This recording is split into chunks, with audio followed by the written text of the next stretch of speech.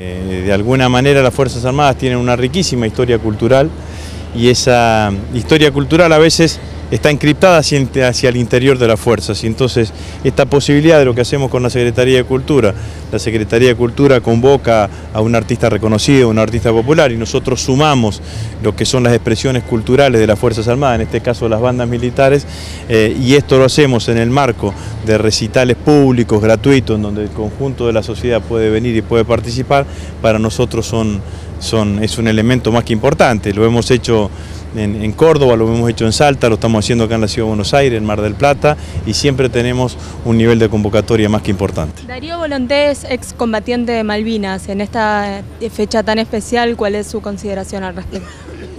Bueno, Malvinas para la Argentina es una causa permanente, es una causa permanente de un país que reclama por una situación de colonialismo inadmisible y en el recorrido de esa causa siempre hay un, reconocimiento a todos los que estuvieron y los que lucharon por Malvinas y a los que no pudieron volver, nuestro recuerdo permanente.